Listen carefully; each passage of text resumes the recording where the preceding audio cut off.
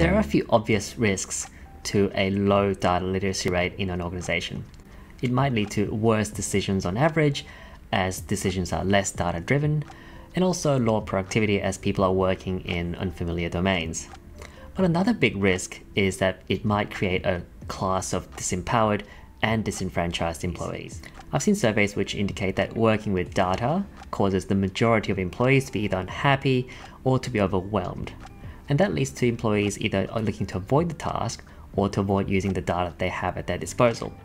Now, that actually means that the employees and the decisions are worse off or no better off than not having that data in the first place, but also they are unhappy on top of that. The volume of data and data driven work isn't going away anytime soon, so it's really important to provide the employees in the organizations with the tools to deal with the changing workplace and the nature of the work at the workplaces.